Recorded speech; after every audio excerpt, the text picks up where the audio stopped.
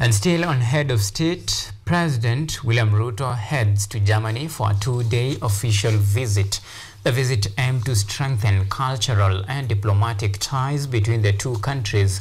According to State House spokesperson Hussein Mohammed, President William Ruto will engage in several high-profile activities expected to yield real, tangible and immediate benefits to the people of Kenya. This is the second overseas trip in just a span of two weeks and the third since the youth-led anti-government protest that rocked the country. President William Ruto will leave the country this evening for a two-day official visit to the Federal Republic of Germany. Now, this visit marks a significant milestone in the long-standing relations between Kenya and Germany, spanning over 60 years, and is aimed at strengthening cultural, economic, and diplomatic ties.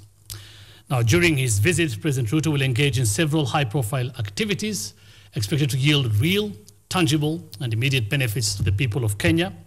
Uh, the key engagements while on uh, his official visits are as follows. Number one, uh, he'll witness or preside over the signing of the Kenya-Germany Agreement on Comprehensive Migration and Mobility Partnership.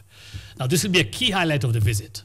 Uh, the signing of this important agreement establishes a framework for cooperation on labor mobility, apprenticeships, student training, employment, and the welfare of employees, as well as for the readmission and return of citizens.